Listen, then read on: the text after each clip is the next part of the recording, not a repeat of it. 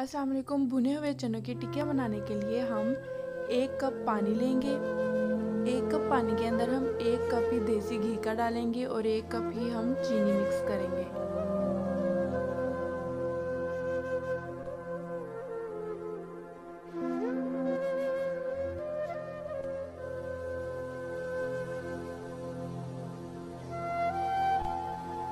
एक कप हमने देसी घी का डाल दिया है।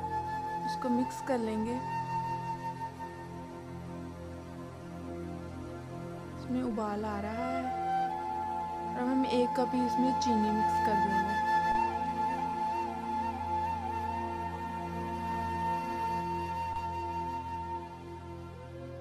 तीन कप हम भुने हुए चनों का पाउडर लेंगे।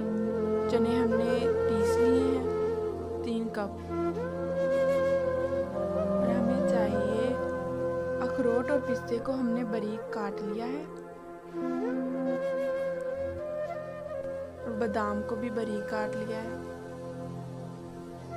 अब हम इसमें पिस्ता और बादाम, अखरोट मिक्स कर देंगे।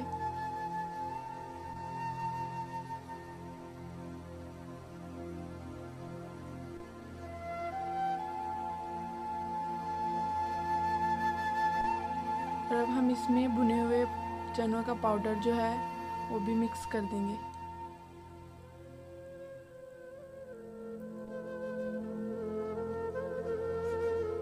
चूल्हा बंद कर दें। ये बन चुका है, बस मिक्स कर लें अच्छी तरीके से। अब इसमें इसको प्लेट में निकाल लें। और थोड़ी देर से ठंडा होने के लिए रख दें।